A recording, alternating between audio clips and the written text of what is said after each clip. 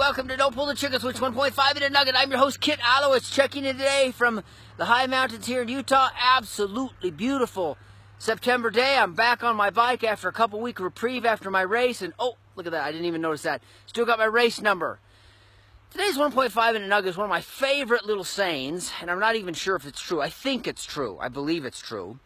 Uh, it probably comes at some frustration over the years to my children, who I said it to them, and here, it's not even one that I do super well. In fact, even now, I'm thinking about a couple things in my own life, professionally, personally, that I really would like to do better related to this saying.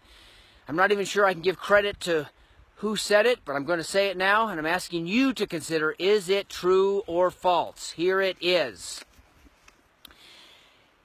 To learn and not to do is really not to, ner- to learn. To know and not to act is really not to know. And to know and not to do is really not to know. Chew on that one. I'll say it one more time. To learn and not to do is really not to learn. To know and not to act is really not to know. And to know and not to do is really not to know. And I'd like to suggest that's unequivocally true. I'd like you to chew on that, consider it in your own life. Have a great day. We'll see you next time.